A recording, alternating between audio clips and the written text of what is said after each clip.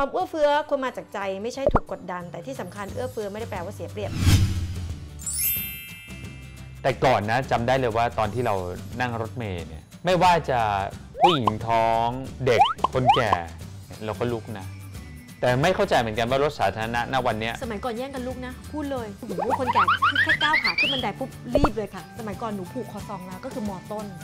ขึ้นรถเมย์ปั๊บลุกให้หนูนั่งหนูก็ขอบคุณค่ะ มันแบบ โมเมนต์แบบเนี้ยก็เคยลุกให้สาวนั่งแล้วขอ เด็กก็มีเด็กก็มีเด็กก็มี เออบางคนไม่ได้ลุกให้เรานั่ง น้องๆ เดี๋ยวพี่ถือกระเป๋าให้ เอากระเป๋าเรากับกระเป๋าเพื่อนไปซ้อนกันเอเลอยเอป่ะอเออเออเออเราอยากให้ลูกเราได้เจอสิ่งแวดล้อมแบบนั้นบ้าง มีคนเม้นต์มาเรื่องค่ะของท้องเก้าเดือนยังต้องยืนอยู่อันเนี้ย อันนี้ก็เกินไปนะ ฉันท้อง 8 เดือนขึ้นรถไฟฟ้าก็ไม่เคยมีคนลุกให้นั่งก็ไม่รู้นึกว่าอ้วนมั้งนึกว่าอ้วนมั้ง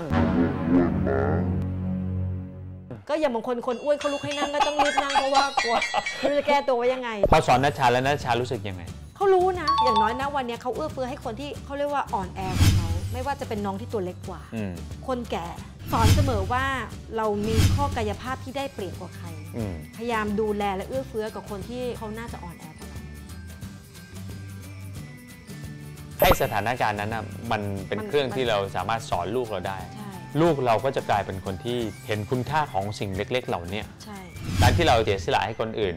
นั่นคือเราชนะใจตัวเองแล้วว่าเราเป็นผู้ให้อะค่ะง่ายที่สุด ใครที่ดูวิดีโอของเราแล้วรู้สึกว่า เอ๊ะมันมีประโยชน์ อยากจะติดตามในครั้งต่อ ๆ ไปนะครับ เข้ามา subscribe ที่พ่อมานามและแม่หมีคริสลี่ได้เลยนะครับและอย่าลืมนะครับ ถ้าสมมติสนอกสนใจรู้สึกว่า